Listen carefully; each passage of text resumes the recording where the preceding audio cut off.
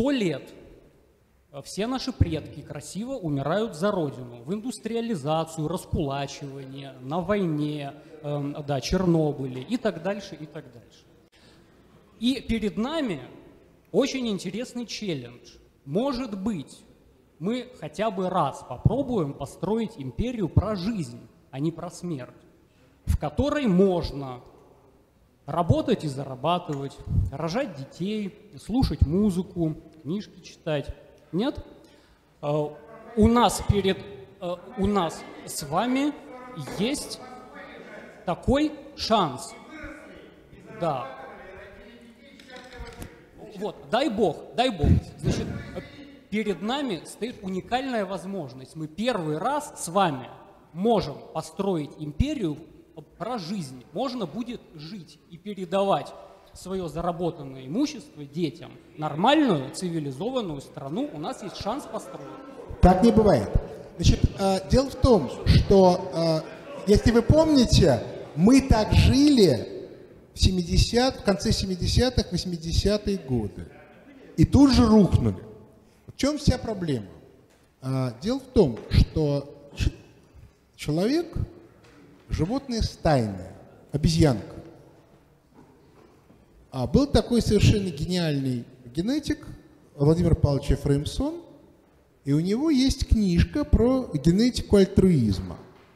Вот любая социальная система стадная может существовать только в том случае, если в ней есть определенное количество особей, которые готовы жертвовать собой ради общественного блага. Это называется альтруизм система может этих людей поддерживать, как это происходит в традиционных обществах, а может их осуждать, как происходит в либеральных обществах.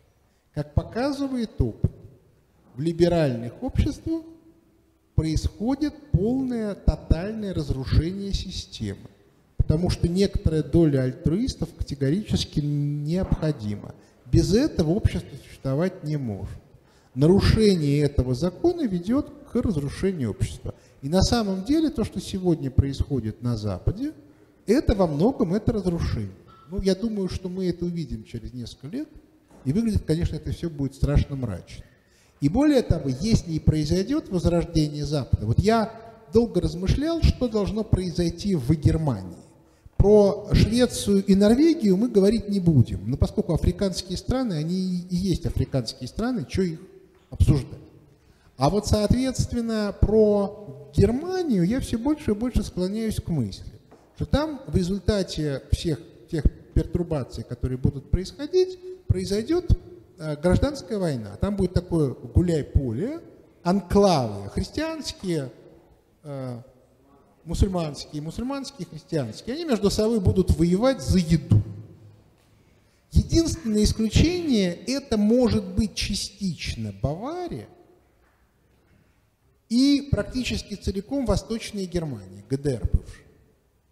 И дальше ГДРовские немцы, которые вернутся к околосоциалистической системе, начнут постепенно отвоевывать от мусульман Западную Германию.